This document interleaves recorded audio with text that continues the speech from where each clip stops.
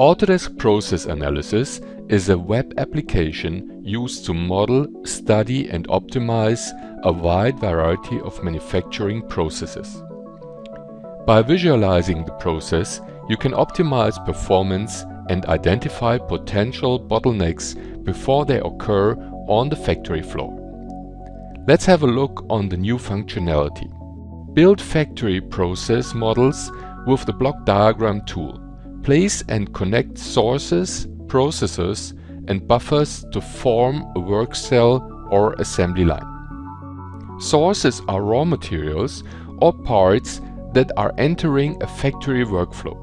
Processors receive source materials or parts and perform operations on them.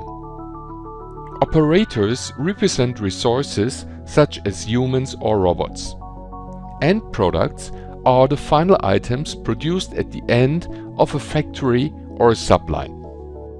If you are currently tracking and analyzing process model objects and settings in Microsoft Excel, you can import that data directly into Process Analysis to create a model design. Once you import the model, you can refine it, run simulations and generate simulation data that can be exported back into Excel for further use and analysis. Enter a specific takt time target that can be applied in reports and line balancing activities to clearly understand how your design process compares against the set target takt time.